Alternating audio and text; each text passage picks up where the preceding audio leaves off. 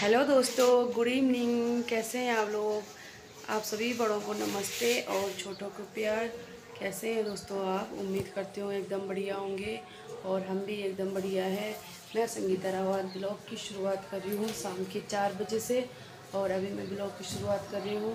और आज आपको मैं कुछ दिखाने वाली हूँ। हमारे पड़ोस में टेंट लगा है और वहाँ पर आ रही है कोटदार की विधायिका रितु खंडूरी जी आ रही है वहाँ पे तो इसीलिए मैंने सोचा आपको भी मैं ब्लॉग के माध्यम से दिखाती रहूँ। तो कॉलोनी वालों ने बोला था कि सारे जब वो आएगी तो सारे इकट्ठा हो जाना, उन, वहाँ पर जाना।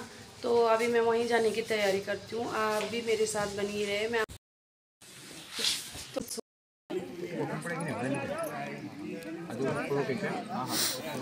तो अभी ऋतु खंडूरी जी नहीं आई यहाँ पे और तब तक कॉलोनी वाले ही भाषण दे रहे हैं। देखिए यहाँ पे दीदी कितना अच्छा था जब वो आएगी मैं आपको दिखाऊँगी।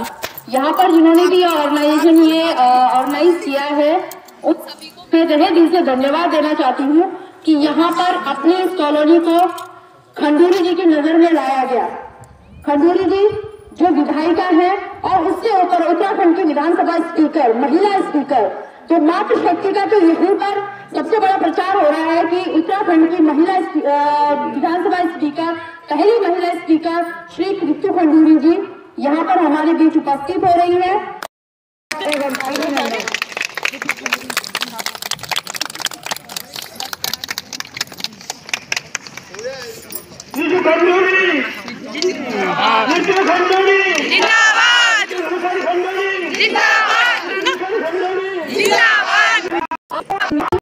पर सभी संभ्रांत देखते मेरे नौजवान साथियों, आज बड़े हर्ष का विषय है कि हमारे बीच में एक विधायिका यहाँ पर पहुँची हुई है।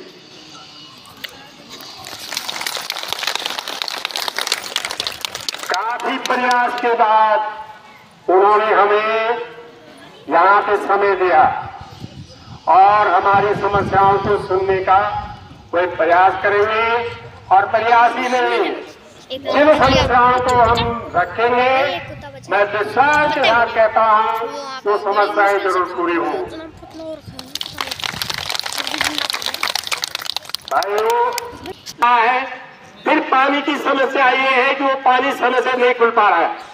कभी वो पानी सात बजे खुल रहा है कभी वो पानी दस बजे खुल रहा है और कभी वो पानी रात ग्यारह बजे खुल रहा है। अब चाचा क्या कहते हैं? यदि खंडवा जी कुछ कहते हैं तो नहीं तो आप ऋतु खंडूरी जी आते दो शब्द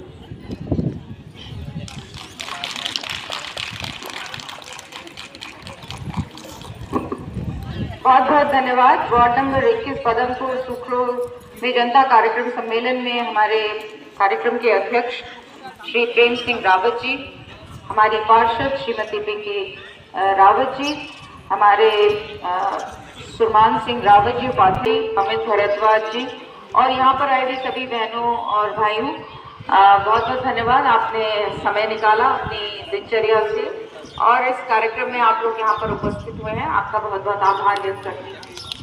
बहुत बहुत आपका धन्यवाद करती हूँ। जहाँ तक आपकी समस्या है, दो समस्याएँ आपने बोली हैं पानी की और रोड की। अब ऐसा है, पानी की समस्या तो है ही। अब जहाँ दस घर होते थे, वहाँ सत्तर घर हो गए हैं तो समस्या तो होगी ही होगी। और सरकारों के पास कोई बहुत जादू की छड़ी नहीं होती है कि दस घर के सत्तर घर हो गए और तुरंत से चीज़ें हो जाएँ। लेकिन प्रयास पूरी तरह से जारी है। सबसे पहला प्रयास ये है कि जो हमारा नगर निगम का, क्योंकि अभी पूरा नगर निगम का क्षेत्र हो गया है तो इसको अमृत 2.0 जैसे कि गाँव में जल जीवन मिशन के तहत घर घर पानी पहुँच रहा है, उसी तरह से अमृत 2.0 में हम नगरों को लेने वाले हैं और नगर में पानी की व्यवस्था सुचारू हो, उस पर काम होने वाला है। इसके अलावा पचास किलोमीटर की हमने लाइनें मांगी हैं क्योंकि वो डेढ़ इंच की छोटे छोटे पाइप्स हैं, पतले पाइप्स हैं, पानी की पूर्ति नहीं हो पा रही है। तो पाइपों को बदलने का भी एक, हम लोगों ने प्रयास किया है और अभी उसका पैसा सैंक्शन नहीं हुआ है, लेकिन मुझे लगता है कि जल्द उसका सैंक्शन हो जाएगा। इसके अलावा क्योंकि ट्यूबवेल से पानी आते हैं और मोटर इस्तेमाल होता है तो मोटर टूटते बहुत जल्दी गर्मियों में वो जलने शुरू हो जाते हैं। तो मैंने अपनी विधायक निधि से करीबन 24 लाख रुपए दे रखे हैं, जिसमें से 10-12 मोटर स्टैंड बाय पे रहेंगे। कि कोटद्वार में कहीं पर भी अगर मोटर जलता है, क्योंकि बनने में उसको सात दिन लग जाते हैं, सात से दस दिन लग जाते हैं तो तुरंत वो उन दस मोटरों में से वो मोटर का इस्तेमाल हो पाएगा। तो ये एक व्यवस्था की है। पानी बहुत ही बड़ी समस्या हो रही है और आगे चल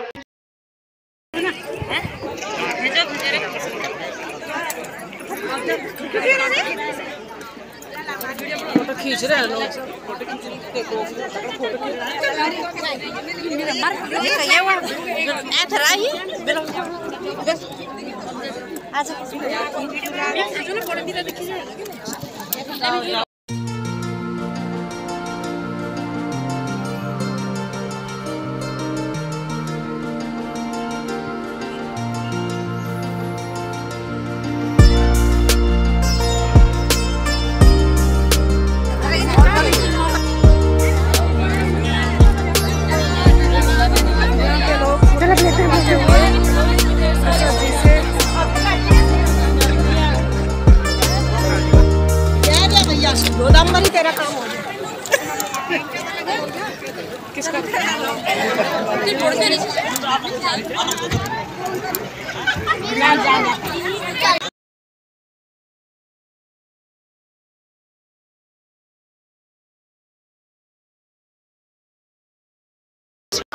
ये देखिए यहाँ पे सारी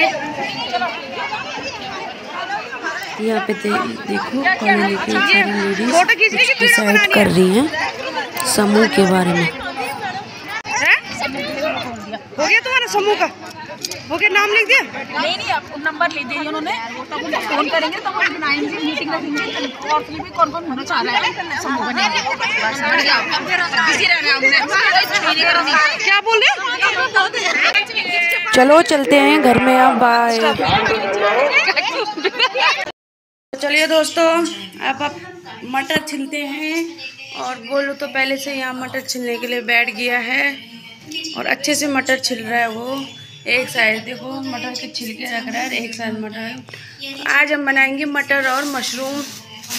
ये लाए हैं। ससुर जी लाए हैं सब्ज़ी, गाँव से आए हैं। तो ये मार्केट से लेके आए हमारे सब्ज़ी। तो चलो मटर छिलते हैं और सब्ज़ी बनाते हैं। दोस्तों अभी दस बज गए हैं। हमारा खाना पीना हो गया है और मैंने ब्लॉग को एंड नहीं करा था तो इसलिए मैं इस ब्लॉग को मैं यहीं पे एंड करती हूँ। और जल्दी मिलूँगी आपको एक नई ब्लॉग के साथ। तब तक के लिए बाय